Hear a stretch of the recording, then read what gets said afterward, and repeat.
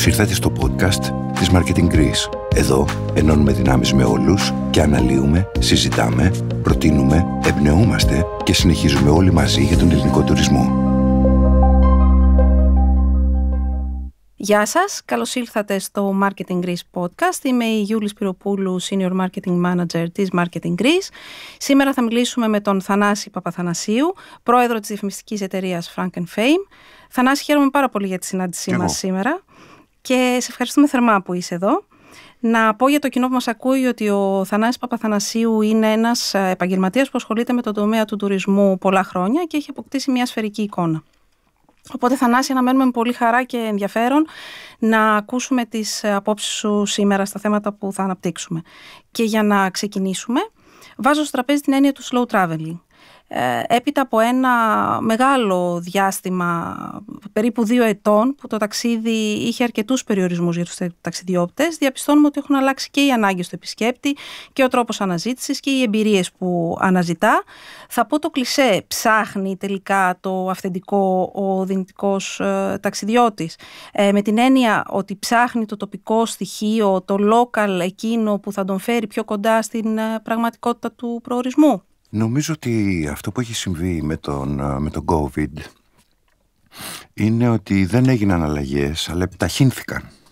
Ο COVID έχει λειτουργήσει σαν ε, πολύ μεγάλος επιταχυντής για πάρα πολλά πράγματα.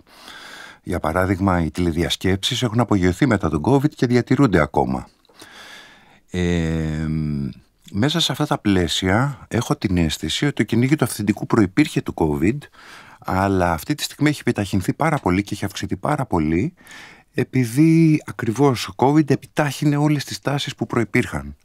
Κάτι άλλο που έχει συμβεί με τον, με τον COVID είναι ότι πάρα πολλοί κόσμος προβληματίστηκε για το νόημα της ζωής θα, θα τολμούσα να πω κάθισε και σκέφτηκε τι μετράει στη ζωή του και τι δεν μετράει και αποφάσισε ότι ταξίδια είναι από αυτά που τα χρειάζεται στη ζωή του γιατί δίνουν μια, ένα πλούτο εμπειρίας που σε κάνει καλύτερο άνθρωπο θα τολμούσα να πω και γι' αυτό υπάρχει νομίζω αυξημένη αυτή η τάση του κυνηγιού του αυθεντικού.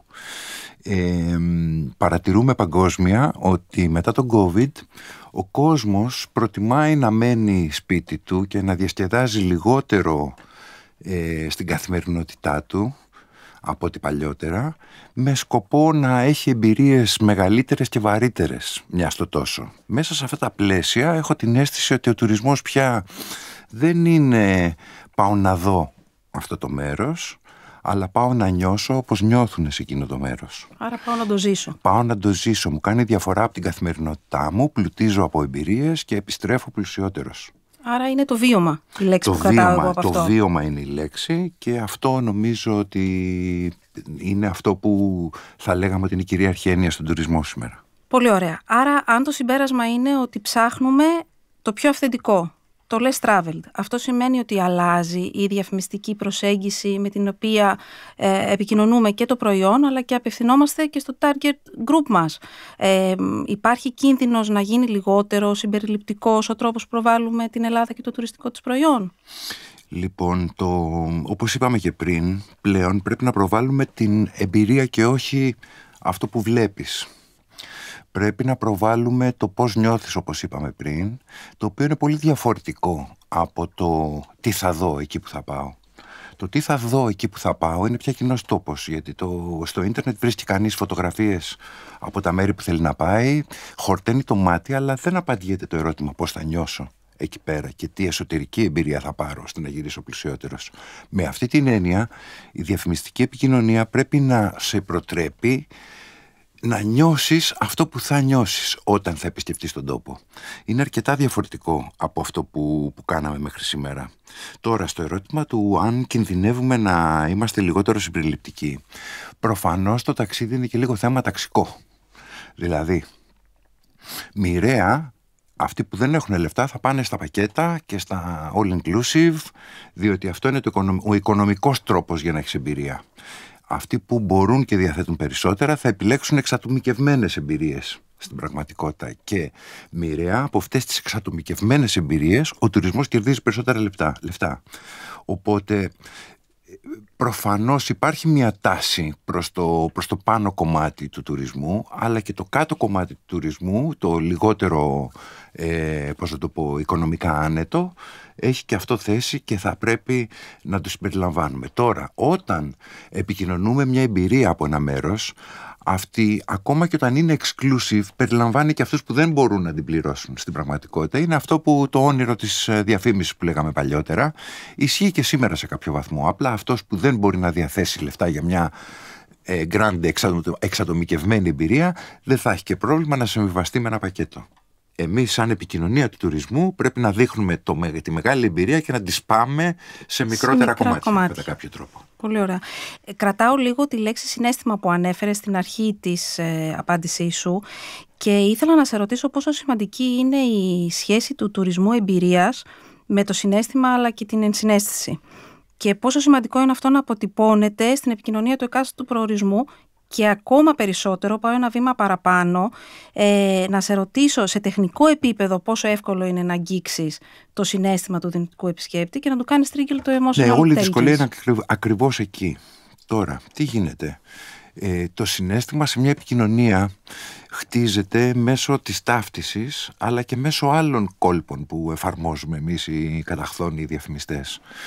Ε, Προφανώς, όπως είπα και πριν, δεν σου αρκεί πια να δεις τις εικόνες από το μέρος. Θέλεις να αισθανθείς. Αισθάνεσαι άμα νιώθεις ταύτιση με αυτό που βλέπεις, άμα βάζεις τον εαυτό σου στη θέση αυτού που πρωταγωνιστεί σε αυτό που βλέπεις. Αλλά κυρίως, τώρα θα πω κάτι που είναι και λίγο επαγγελματικό μυστικό, ο ισχυρότερος τρόπος για να νιώσεις συνέστημα είναι η μουσική. Δεν είναι η εικόνα η μουσική μεταφέρει μια δόνηση συγκεκριμένη, η οποία σε παρασύρει και σε συντονίζει σε αυτό που ακούς. Ούτε ο συνδυασμός, δηλαδή θα έλεγες ότι προφανώς, θα μπορούσε... Προφανώς, ο συνδυασμός. Αλλά τι γίνεται, σκέψου το εξής. Αν βάλεις ένα θρίλερ χαρούμενη μουσική, πάβεις να τρομάζεις πια. Συμφωνώ. Αν κλείσεις τον ήχο στο τηλεκοντρόλ να βλέπεις ένα θρίλερ, δεν είναι τρομακτικό. Είναι ο ήχος που σου, που σου δημιουργεί τον δρόμο, γιατί οι νότες ε, είναι έτσι φτιαγμένες. Ενισχύει το αίσθημα το... του τρόμου. Σωστά. Ακριβώς. Το ίδιο πράγμα λοιπόν, άμα θέλουμε ζεστασιά, δεν πρέπει να δείξουμε τζάκια, πρέπει να βάλουμε ζεστή μουσική. Άμα θέλουμε να επικοινωνήσουμε φιλία, βάζεις χαρούμενο, χαρούμενο συνέστημα. Ανάλογα με το τι θέλεις να επικοινωνήσεις κάθε φορά. Τώρα, αυτό που λες συνέστηση θεωρώ ότι είναι το σημαντικότερο κομμάτι σε σύγχρονη επικοινωνία γενικότερα. Δηλαδή, μπες στα παπούτσια του άλλου. Μίλα για την εμπειρία από τη δικιά του πλευρά. Παραδέξου τα λάθη σου. Παραδέξου ότι δεν είσαι τέλειος όταν μιλάς. Δεν υπάρχει καλύτερος τρόπος από το να γίνεις συμπαθής, από το να κάνεις κριτική στον εαυτό σου να αυτόματα να πεις ε, εγώ που είμαι έτσι και έτσι και έτσι και να μην πεις καλά πράγματα αυτόματα γίνεσαι συμπαθής. Εάν λοιπόν μέσα σε αυτό που προβάλλεις προβάλλεις και τα ελαττώματά σου ευθαρσός αυτό δείχνει συνέστηση και κάνει τεράστια διαφορά στην επικοινωνία γιατί αυτόματα ε, έρχεσαι πιο κοντά στο έρχεσαι πιο κοντά στον άλλον ναι, ναι, Μπορώ να αναφέρω πολλά παραδείγματα από το χώρο της πολιτικής, αλλά δεν θα ήθελα να αναφερθώ εδώ σε πιο συγκεκριμένα πράγματα. Αλλά νομίζω ότι στη σημερινή επικοινωνία και στη σημερινή εποχή η λέξη ενσυναίσθηση θα έπρεπε να είναι πάνω-πάνω επικεφαλίδα. Σαν έννοια και από εκεί. Σαν, σαν καταλητική για αποτελεσματικότητα. Ναι. Ναι, ναι, ναι. Η, η, η έννοια η οποία θα δίνει το έναυσμα και, τη, και την κατεύθυνση για όλες τις, ε, για όλες ναι. τις επικοινωνίες. Ναι, ναι, ναι. Ωραία. Σύμφωνα με πρόσφατες έρευνες, οι κινηματογραφικές αλλά και οι διαφημιστικές ε, ταινίες, καθώς και οι τηλεοπτικές σειρές που γυρίζονται σε έναν προορισμό, ε, ο οποίος μπορεί να αποτελέσει και μέρος της, ε, της πλοκής, δηλαδή δεν, είναι ένα τοπίο που επιλέγεται απλά ως ένα καμβάς για να παιχτεί, να διαδραματιστεί. Η... Παίζει ενεργό ρόλο. Ε, παίζει ενεργό ρόλο και πολλές φορές μπορεί να παίζει και ρόλο λύσης της, ε, της πλοκης μέσα στην ταινία. Ε, αποτελούν λοιπόν έναν, ε, ένα παράγοντα επιρροής για τους δυνητικούς επισκέπτες για να επιλέξουν τον προορισμό, τον εκάστοτε προορισμό και να ταξιδέψουν σε αυτόν. Ή αν μη τι άλλο να τον βάλουν στις πρώτες επιλογές της mm λίστας. Θεωρείς ότι μια χώρα και το τουριστικό προϊόν που προσφέρει πρέπει να συμμετέχει στην παγκόσμια pop κουλτούρα; Ε, τα πέντε tweets που έκανε ο Justin Bieber φέτος το καλοκαίρι από την, από την Μήλο θεωρώ ότι η μηντιακή τους αξία προβολής είναι τεράστια αυτή τη στιγμή. Δηλαδή, σαν κονδύλι, άμα το βάλει κανείς κάτω, είναι πραγματικά πάρα πολύ μεγάλο. Σαν κονδύλι με την έννοια του πόσο κόσμο προσεγγίζει. Έχουμε πολλές διαστάσεις εδώ. Έχουμε πρώτα τη διάσταση influencer. Δηλαδή, ποιος το λέει; Όταν το λέει ο Justin Bieber και έχει εκατομμύρια followers από πίσω, όλοι αυτοί λένε, αισθάνονται ότι ό,τι προτείνει ο Justin Bieber είναι κάτι καλό. Αυτόματα λοιπόν έχεις μια εξωτερική μαρτυρία. Αλλά δεν είναι μόνο αυτό. Είναι ακουμπάει και σε αυτό που λέγαμε πριν. Ότι όταν δείχνεις μια ταινία ή ε, μια προσωπική σημείωση για κάποιο μέρος, τότε το εκλαμβάνεις σαν πιο αληθινό γιατί υπάρχει ενσυναίσθηση. Ο άλλος το λέει μέσα από την καρδιά του αυτό το πράγμα. Ο Magic Johnson έκανε κάτι καταπληκτικά αποσταρίσματα φέτος από, το, από την ε, τουρνέ που έκανε. Και πιστεύω ότι είναι ο πιο ύπουλος, με εισαγωγικά η λέξη, και πιο αποτελεσματικός τρόπος για να διεισδύσει ένα ένας προορισμός στο μυαλό του υποψήφιου επισκέπτη. Πολύ χαρακτηριστικό παράδειγμα, το Λούβρο. Είχα γράψει και ένα άρθρο στο, στο, στο blog της Marketing Greece για αυτό το θέμα. Το Λούβρο είναι το ένα μουσείο που όλοι το ξέρουμε και που κάθε χρόνο έχει εκατομμύρια επισκέπτες. Μια χρονιά πριν από 4-5 χρόνια, ξαφνικά από εκεί που κάθε χρόνο έκανε πάνω κάτω τα ίδια νούμερα επισκεπτών, έκανε ένα peak τρομερό. Το λουβρο Ο πιο παραδοσιακός προορισμός ενδεχομένως στην Ευρώπη, έτσι. Γιατί είχε γίνει αυτό; Γιατί η Beyoncé είχε γυρίσει το βίντεο κλιπ της μέσα στο Λούβρο και είχε interaction με τους πίνακες. Αυτό έκανε εκατομμύρια κόσμο, κυρίως στην Αμερική που η Beyoncé είναι πιο δημοφιλής, να πάει στο Λούβρο. Και ξαφνικά το Λούβρο, το Λούβρο, δηλαδή ό,τι πιο κοινότυπο. Και ό,τι πιο αναμενόμενο να δεις όταν επισκέπτεσαι ξαφνικά, ξαφνικά έκανε ένα peak τρομερό. Μόνο και μόνο γιατί γύρισε το βίντεο κλιπ της η Beyoncé. Έχουμε και εδώ παραδείγματα. Το Μαέστρο τώρα. Η Παξί φέτος ακούω ότι δεν έβρισκες δωμάτιο ούτε για δείγμα. Ναι, ναι, ναι. Και όχι μόνο η Παξί και η Σκόπελος παλιότερα με, την, με, το, με, το, Μάμα Μία. Ε, δεν υπάρχει. Και αλλά και τη δεκαετία του 50 η Ελλάδα σαν τουριστικός προορισμός άρχισε να ανεβαίνει όταν η Σοφία Λόρεν και οι διάφοροι αστέρες επί Ωνάση κλπ. ερχόντουσαν στο, στα νησιά.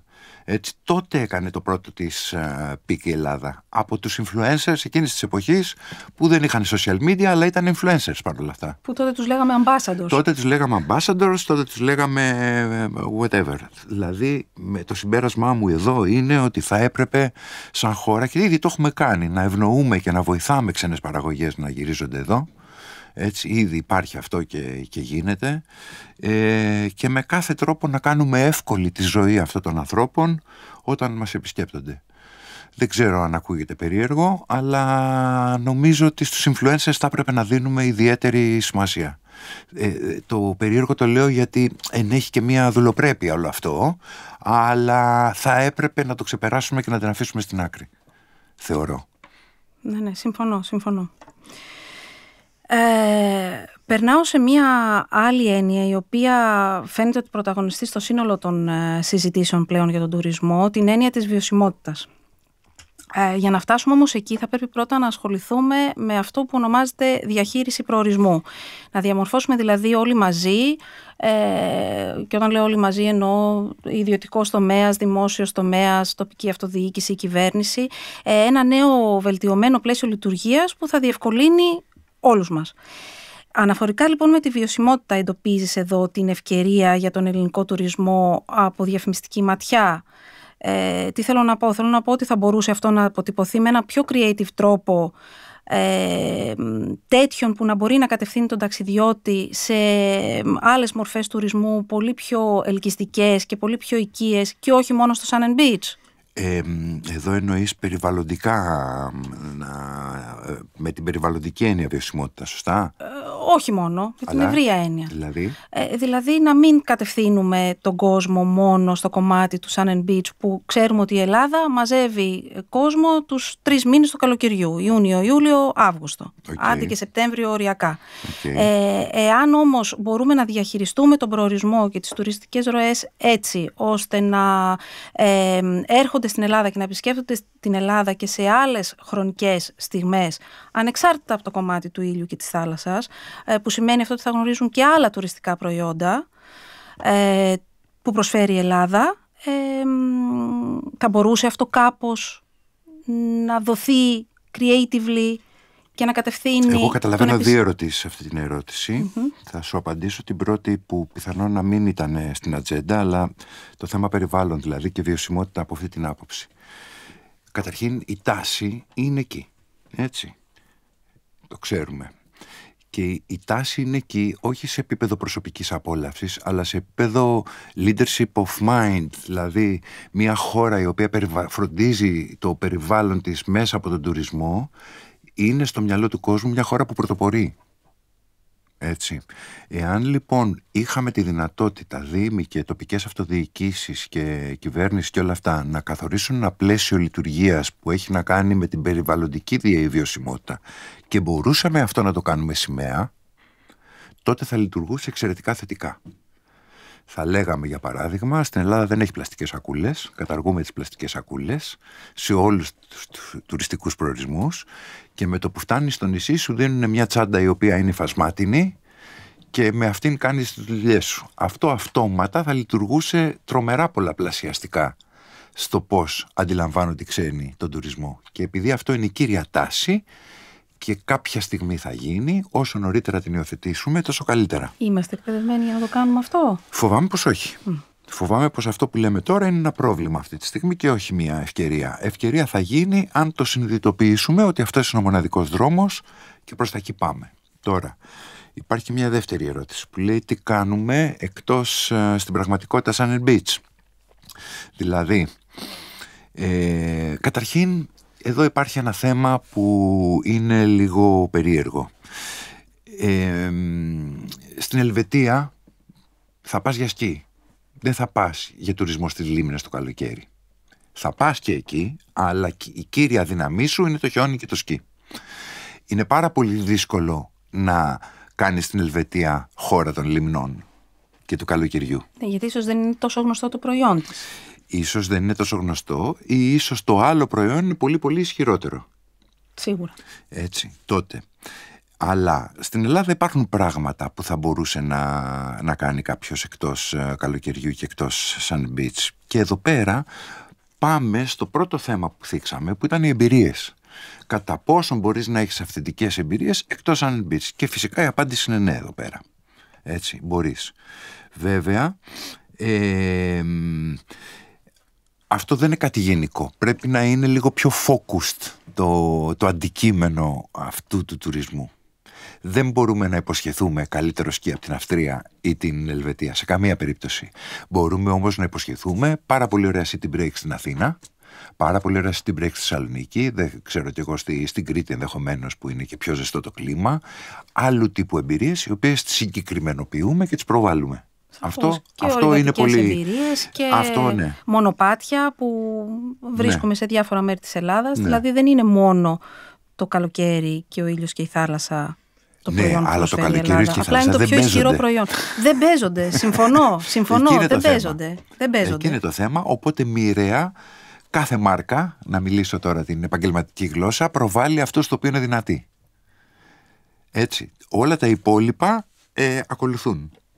Οπότε ό,τι και να κάνουμε θα έχουμε πάντα πολύ περισσότερο κόσμο στο Sun and Beach ε, thing. Βέβαια, άμα δεν ξεκινήσεις κιόλας να προβάλλεις με τον ίδιο τρόπο που προβάλλεις το Sun and Beach, αν δεν ξεκινήσεις να προβάλλεις και τα υπόλοιπα προϊόντα και δεν μιλάω για τα Χριστούγεννα στην Ελλάδα γιατί προφανώς δεν μπορούμε να ανταγωνιστούμε κάποιες άλλες Ναι, αλλά εκτός από city breaks γιατί άλλο μιλάμε; Θα, να, θα μπορούσαμε να μιλήσουμε για ε, ε, ε, activities που έχουν να κάνουν με την ορειβασία. Έχουμε πάρα πολύ ωραία μονοπάτια, σε φαράγγια, σε βουνά. Δηλαδή έχουμε εμπειρίες που θα μπορούσαμε να πουλήσουμε. Προφανώς δεν θα είναι τόσο ισχυρές όσο είναι το Sun and Beach. Ε, ωστόσο, έχουμε εμπειρίες που μπορούμε να πουλήσουμε πέρα από το ήλιος και θάλασσα και τα ναι. στάνταρ νησιά τα οποία ναι. επισκέπτονται και είναι, που επισκέπτονται οι, οι ταξιδιώτες και είναι και γνωστά παγκοσμίως πλέον. Ναι. Αυτό όμως θα απαιτούσε και ένα switch στην αντίληψη που έχουμε για το, για το προϊόν μας. Δηλαδή, αυτή τη στιγμή προβάλλουμε το summer feeling,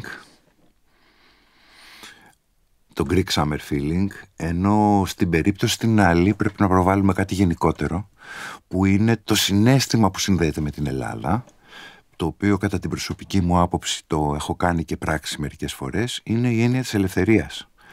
Στην Ελλάδα επειδή υπάρχει αυτό το φως, επειδή είναι Μεσόγειος, επειδή υπάρχει ε, ένας αέρας λίγο λιγότερο καταπιεστικός από ό,τι στις δημοκρατίες του Βορρά θα μπορούσαμε να γενικεύσουμε αυτό το, αυτό το, το συνέστημα, να πούμε ότι η Ελλάδα είναι η χώρα της δημιουργικής ελευθερίας, το, αυτό το συνέστημα της ανάτασης που νιώθουμε όταν βγαίνει ο ήλιος στη, στην Ελλάδα δεν συγκρίνεται. Έχω γυρίσει πολλές χώρες. Αυτό το συνέστημα όταν βγαίνει ο ήλιος στην Ελλάδα δεν συγκρίνεται με κανένα άλλο. Νιώθεις μέσα σου ψυχικά μια ανάταση, μια ελευθερία, μια δυνατότητα να κάνεις πράγματα. αυτό είναι μοναδικό. Το οποίο έχει να κάνει ε, σίγουρα και με τους ανθρώπους της. Γιατί και οι άνθρωποι της, ζώντας κάτω από τον ήλιο, έχουν εντελώς διαφορετική κουλτούρα και εντελώς ναι. διαφορετική.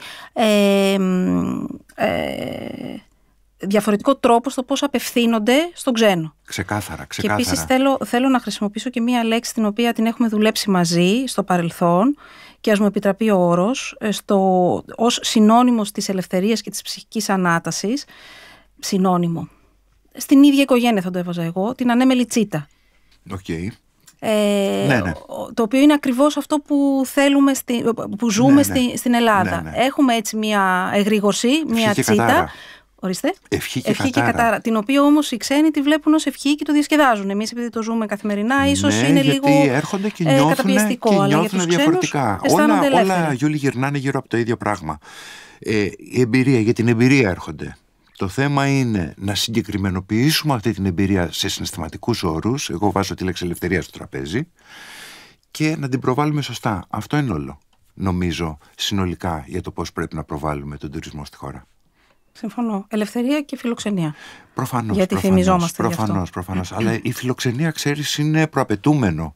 Είναι αυτό που περιμένουν να βρούνε και που κάπως πληρώνοντας, περιμένεις ότι θα τη βρεις. Ναι, η, το περιμένουμε και το έχουμε χτίσει όμως. Γιατί όταν εμείς στην Ελλάδα, όταν πάμε να κάτσουμε σε ένα τραπέζι να φάμε, σου δίνουν αυτόματα νερό και ψωμί, ενώ στο εξωτερικό θα πρέπει να το παραγγείλεις επί τούτου αυτό. Δηλαδή, κάποια πράγματα τα δίνουμε απλόχερα, όχι ότι δεν πληρώνονται, απλά τα δίνουμε απλόχερα χωρίς να ζητηθούν. Ενώ στο εξωτερικό είναι πολύ πιο σε κουτάκια και strict ίσως η συμπεριφορά σε ένα εστιατόριο, με για το έφερα ως παράδειγμα. Ναι, σωστό Άρα το η παράδειγμα σου, είναι πάρα πολύ σημαντικό. Αλλά θεωρώ την ευγένεια ακόμα ισχυρότερη. Ενώ μα η φιλοξενία Έτσι. περιέχει και ευγένεια. Αν ναι. δεν είσαι ευγενικός, δεν είσαι φιλόξενος. Ναι, ναι, και αν δεν ναι. είσαι φιλόξενος, δεν είσαι ευγενικός. Είσαι ειλικρινά ευγενικός. Ναι, έχει και αυτό μια, τώρα και έχει να κάνει μια, και με τους χαρακτήρες. Έχει και μια διάσταση παραπάνω. Αλλά τα πάντα είναι εμπειρία. Έχεις, έχεις παρατηρήσει πόσο πολύ τα τελευταία χρόνια παίζει το φαγητό στον τουρισμό; Ναι, Παλιότερα βέβαια. δεν δείχναμε φαγητά. Όχι. Έτσι, τώρα ο κόσμος έρχεται γιατί ξέρει ότι είναι ωραία εκεί, έχει ωραία τοπία, τα έχει δει στο ίντερνετ και τώρα η εμπειρία είναι το φαγητό. Το πώς θα νιώσει είναι το μπόνους. Σωστά, σωστά. Και όχι μόνο το φαγητό. Έτσι, είναι ο λόγος για να ξαναέρθει, γιατί θα τολμούσα να πω ότι αυτό το συνέστημα είναι και εθιστικό. Δηλαδή, αν ζήσεις μια φορά αυτή την ελευθερία, αυτή την ανέμελη τσίτα. Θες να την ξαναζήσεις. Θες να την ξαναζήσεις. Σου λείπει σαφώς. και μετά όλο το χειμώνα την νοσταλγείς. Σαφώς. Και το φαγητό, όχι μόνο ως φαγητό, αλλά και ως ε, εμπειρία παραδοσιακό συνολική. στοιχείο. Ναι, ως εμπειρία συνολική και ως παραδοσιακό στοιχείο, του εκάστοτε. Ακριβώς, του εκάστοτε προορισμού. Έτσι. Σωστά. Έτσι. Ε, κράτησα πάλι από την απάντησή σου το Greek Summer Feeling mm-hmm. και θέλω να σε ρωτήσω κάτι τελευταίο. Ε, αν και εν μέρη έχει, το έχουμε συζητήσει, mm-hmm. ε, στο Sun and Beach η Ελλάδα είναι τρίτη παγκόσμια δύναμη. Mm-hmm. Το ξέρουμε, το είπαμε και πριν, είναι ένα πάρα πολύ ε, ισχυρό τουριστικό mm-hmm. προϊόν που προσφέρει η χώρα μας. Ωστόσο να σημειώσω εδώ ότι το κομμάτι του πολιτιστικού ε, τουρισμού, στο κομμάτι του πολιτιστικού τουρισμού είμαστε εκτός δεκάδας. Mm-hmm. Τι θεωρούμε πολιτιστικό τουρισμό, μουσεία και... Και όχι μόνο, και outdoor χώρους αρχαιολογικούς okay. και εγώ θα έβαζα μέσα και το κομμάτι όλης της, της μοντέρνας Πολιτιστικός τουρισμός versus καλοκαιρινού τουρισμού, έτσι, πολιτιστικός είναι all year round. Ναι, ναι, ναι. Έτσι, με αυτή την έννοια. Ναι, ναι, ναι. ναι, okay. ναι. Άρα πιστεύεις πως τα υπόλοιπα τουριστικά προϊόντα έχουν την ευκαιρία να αναδειχθούν; Ε, και μήπως αυτό το Greek Summer Feeling που αναφέρουμε, το οποίο είναι πάρα πολύ δυνατό και είναι πάρα πολύ γνωστό και φαντάζομαι θα συμφωνείς μαζί μου αν πω ότι έχει δημιουργήσει και ένα brand. Βεβαίως. Αυτό το Greek Summer Feeling λοιπόν πρέπει να προσαρμοστεί σε όλα τα τουριστικά προϊόντα. Δηλαδή το, την αντίστοιχη έννοια ναι. να τη μεταφέρουμε και στα ναι, υπόλοιπα ναι, ναι. τουριστικά απολύτως, προϊόντα πέρα απολύτως. από το Sun Αυτό Beach. είπαμε και πριν. Παίρνεις το, το πώς νιώθεις, το βγάζεις από το καλοκαίρι και το βάζεις όλο το χρόνο. Γιατί δεν νιώθεις διαφορετικά το χειμώνα στην Ελλάδα, ειδικά τη στιγμή που βγαίνει ο ήλιος και βγαίνει πολύ συχνά, 300 μέρες το χρόνο. Σωστά. 300 μέρες το χρόνο στην Αθήνα έχουμε έστω και λίγο Είναι πάρα πολύ. Και είναι αυτό που σε αλλάζει. Και είναι αυτό που πρέπει να προβάλλουμε. Και αυτό πρέπει να αξιοποιήσουμε σαν, σαν χώρα ναι. ως ενισχυτικό στοιχείο του εκάστοτε τουριστικού προϊόντος που, ναι. που θέλουμε να προβάλλουμε το και να επικοινωνήσουμε. αυτό που είναι γύρω-γύρω. Θανάση, σε ευχαριστούμε πάρα πολύ Εγώ σας ευχαριστώ. για τη σημερινή συνάντηση, για όλα αυτά τα ωραία πράγματα τα οποία μοιράστηκες μαζί μας και ελπίζω να ξαναβρεθούμε σύντομα. Και εγώ το ελπίζω. Και να τα ξαναπούμε. Σε ευχαριστούμε. Πολύ. Και εγώ. Σας ευχαριστούμε για την ακρόαση. Ακολουθήστε μας στα social media και προτείνετε μας και εσείς θεματολογία για τα επόμενα podcast. Ο τουρισμός μας αφορά όλους. Είστε επανειδήν.